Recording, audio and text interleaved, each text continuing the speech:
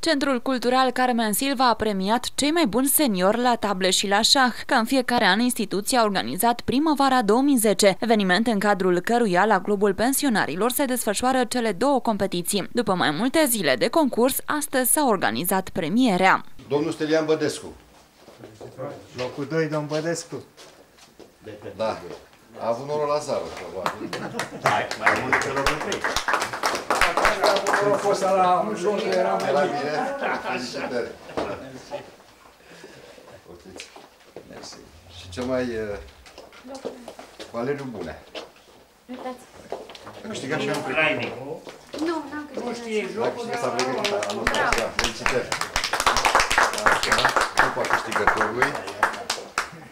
Și premiile. Concurența a fost acerbă la cele două competiții, însă participanții au avut și alte obiective în afară de a câștiga trofeul, și anume socializarea și distracția.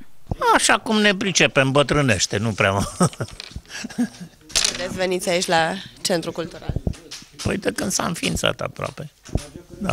E un mod plăcut de a petrece timpul liber. Și da și nu. Uneori mai avem și alte probleme și trebuie să mai facem și alte probleme în afară de astea. Mod plăcut de a petrece timpul liber. Venim, venim zilnic noi. Majoritatea venim zilnic. Participați și la concurs. Da.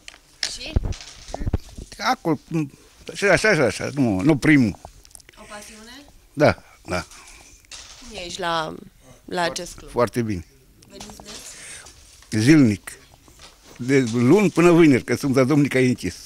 Este un program făcut special pentru seniorii care vin zi de zi și uh, joacă uh, aceste uh, sporturi, le practică aici la noi. Uh, Ne bucurăm foarte tare că s-au înscris destul de mulți. Au fost 10 la table și 20 la, uh, 10 la șah și 20 la table.